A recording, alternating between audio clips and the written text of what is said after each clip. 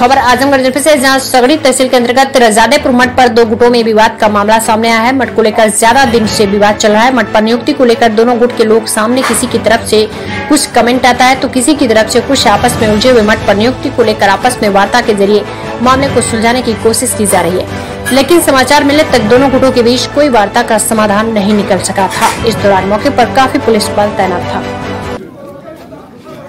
काय दीपक भैया कैसन ताला वाला मरबौले हुआ हैं?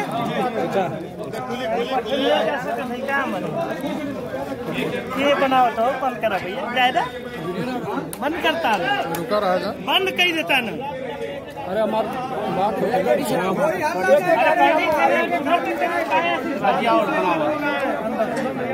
काय